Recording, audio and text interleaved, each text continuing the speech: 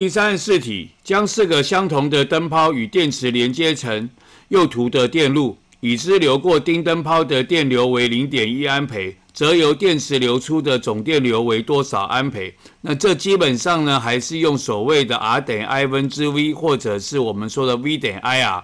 那么我们这个这边的这个电路呢，是并联电路，那么它的电压是一样的，在电压一样的情况之下，电阻跟电流会成反比。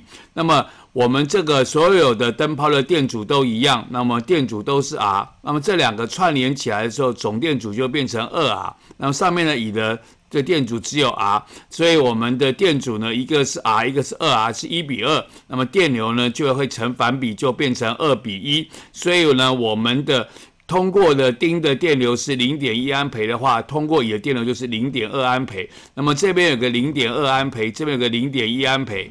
那么我们的并联的总电流等于分电流相加，零点二加零点一就是零点三。所以呢，流进电池跟流出电池以及流过甲的。